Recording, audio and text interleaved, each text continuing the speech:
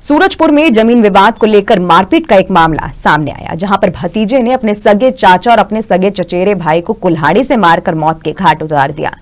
बता दें कि लंबे समय से परिवार में ज़मीन को लेकर विवाद चल रहा था। जिसके चलते उसने वारदात को अंजाम दिया। वहीं हत्या के बाद आरोपी मौके से ही फरार हो गया। घटना की जानकारी लगते ही पुलिस मौके पर पहुँची। पुलिस ने शवों को कब्जे में लेकर पोस्टमार्टम के लिए भेज दिया है। वहीं ज़िले के जयनगर थाना क्षेत्र के कुंजनगर गाँव का यह मामला बताया जा रहा है। फ़िलहाल पुलिस मामला दर्ज कर आरोपी की तलाश कर रही है।